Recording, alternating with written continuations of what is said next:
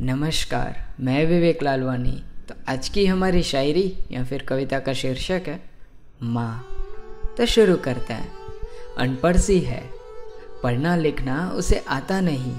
दुनियादारी पता नहीं। व्यक्ति या लोगों को उसे पहचानना आता नहीं। लेकिन लेकिन फिर भी सबको माफ़ करने की क्षमता रखती है। लेकिन फिर भी सबकी भूलों को बख्शना उसका स्वभाव है। कुछ ऐसी ही होती है ना? यार, माँ हमारी। कुछ ऐसी ही होती है ना यार? माँ हमारी। माँ? ए माँ ए माँ, तू तो मेरे भोले से भी भोली है।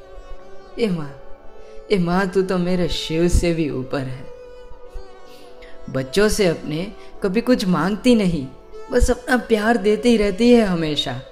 और जब बच्चे रुटते हैं माँ से अपनी तो बस ये कहती रहती है हमेशा, तू रूठ मत यार, बस तू खुश रहे, और क्या चाहिए मुझे?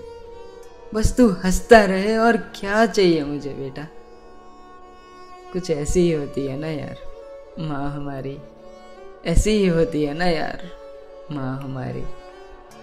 माँ, ए माँ ए माँ तू तो मेरे भोले से भी भोली है। ए माँ ए माँ तू तो मेरे शिव से भी ऊपर है। ए माँ ए माँ तू तो मेरे शिव से भी ऊपर है। ओम नमः शिवाय। धन्यवाद।